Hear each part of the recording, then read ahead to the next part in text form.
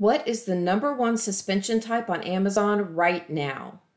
Hi, I'm Lesley Hensell, co founder of Riverbend Consulting, where we solve problems for Amazon sellers and vendors. This is a question I get all the time. What is the reason that accounts are getting suspended right now? And for a while now, that number one reason is linked accounts.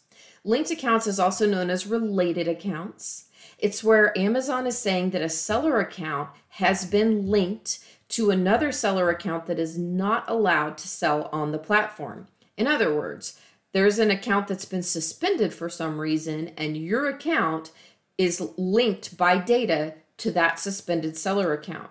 That could be by banking information, email addresses, sub logins that you have. The main reason Amazon suspends accounts that are linked to other suspended accounts is they don't want sellers taking inventory or practices that got them suspended in the first place and just transferring that over to a new account or a different account.